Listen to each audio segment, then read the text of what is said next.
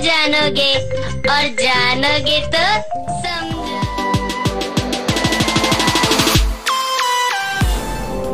देखिए महाराज। लेकिन बात तो समझने की है मुंजा और मुझे समझ में नहीं आ रहा है कि मैं एक महीने में कैसे ये फैसला सुना पाऊँगा कि कर्म बड़ा है या किस्मत।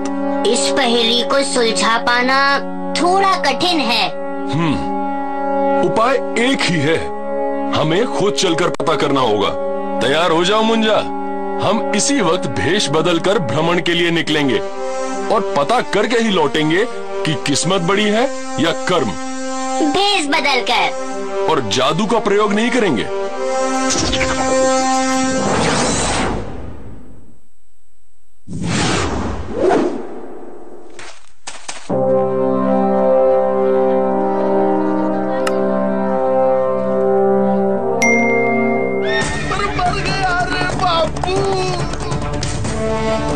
अरे, इस घटा घनघोर को हटाओ। अरे, मर गया रे बापू।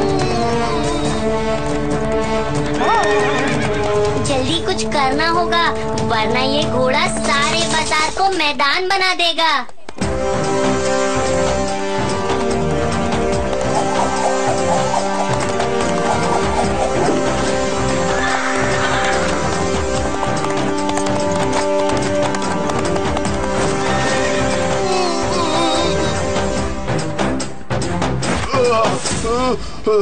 हट गई घनघोर घटा।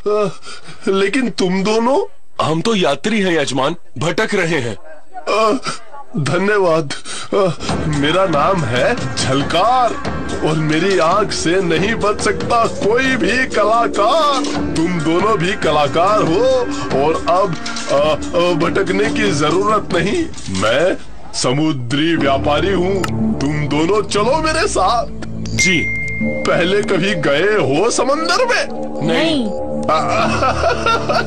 पर तुम दोनों वीर हो। कोई बात नहीं। कल बंदरगाह पर मिलो।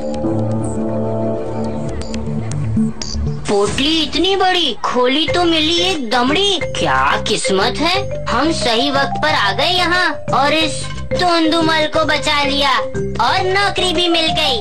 लेकिन अगर हम उस घोड़े से इसे नहीं बचाते तो ये सब नहीं होता। यहाँ बहुत लोग खड़े थे, लेकिन कर्म सिर्फ़ हमने किया।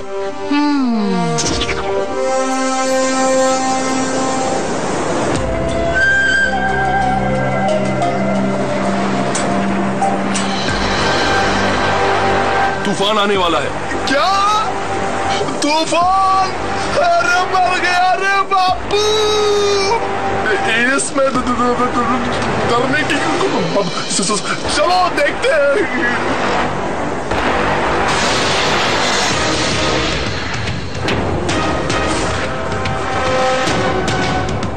हमें जल्दी यहाँ से निकल जाना होगा। यहाँ रुके तो खतरा बढ़ जाएगा, बापू। वीरों का रास्ता तो खतरों से भरा होता है, जजमान। पता नहीं क्यों होता है। तुम जाओ, जल्दी लंगर उठाओ। ये रस्सी तो लगता है फंस गई है।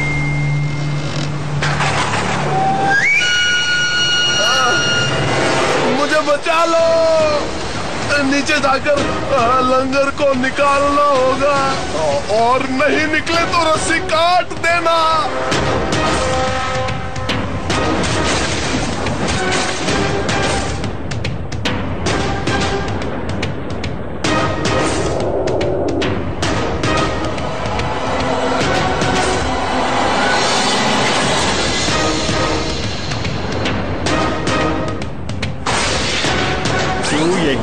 ऊपर से रस्सी काट दे पाप लगेगा। इसकी बातों पे मत ध्यान दे।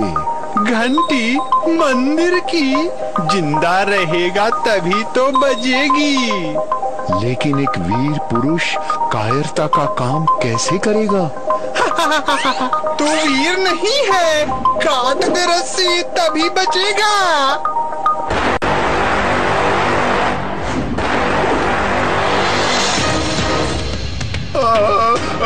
घनघोर घटा दुविधा हटा।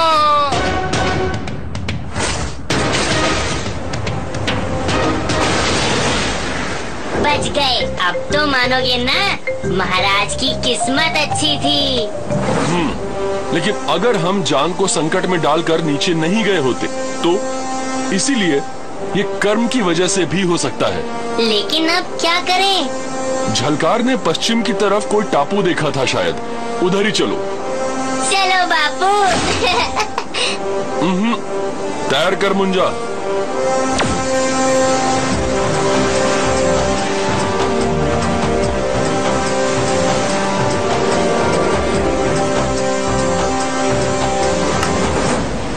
आओ महाराज विक्रमादित्य और जादुई मुंजा। आप कौन है ऋषि? और हमें कैसे पहचानते हैं? जब ज्ञान का प्रकाश होता है तो सब साफ़ साफ़ नज़र आने लगता है। लेकिन हमें आश्चर्य है कि आप क्यों साफ़ साफ़ नहीं देख पाए कि किस्मत बड़ी है या कर्म। क्या आपको ये भी पता है कि हम भ्रमण पर क्यों निकले हैं? जाओ विक्रमादित्य वो जहाज़ यहाँ तुम्हारा ही प्रतीक्षा कर रहा था। अपने राज्य जाओ। वहाँ लोगों को तुम्हारी ज़रूरत है। ये जादुई माला है। इसे पहनोगे तो तुम अदृश्य हो जाओगे, और ये लाठी तुम्हें सही दिशा बताएगी। तुम्हें तुम्हारा उत्तर मिल जाएगा।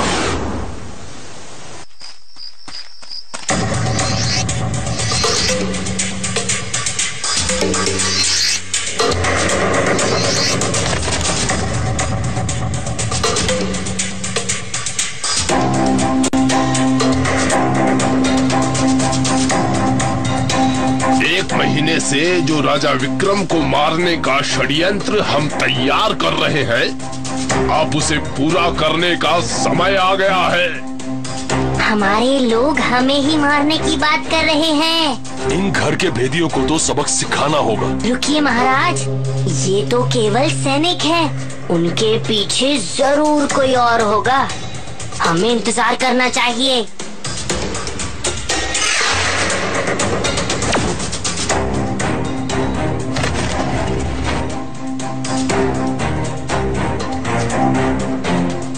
कोषाधीश?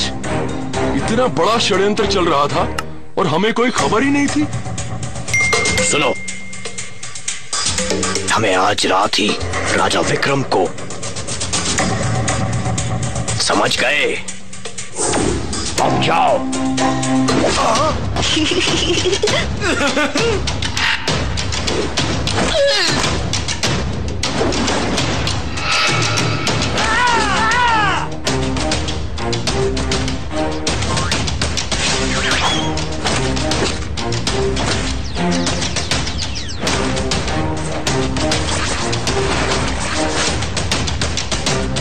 इन्हें यहीं छोड़ दो मुंजा।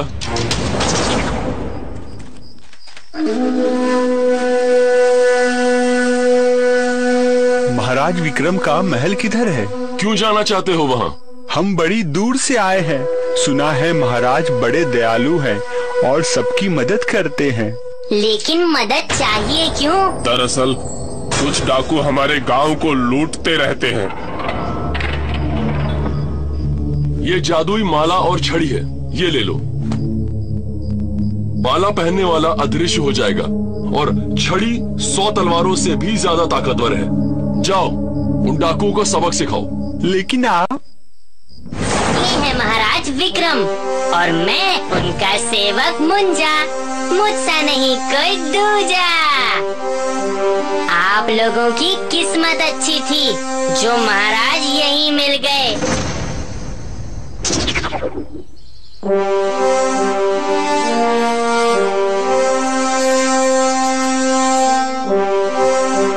जवाब मिल गया है।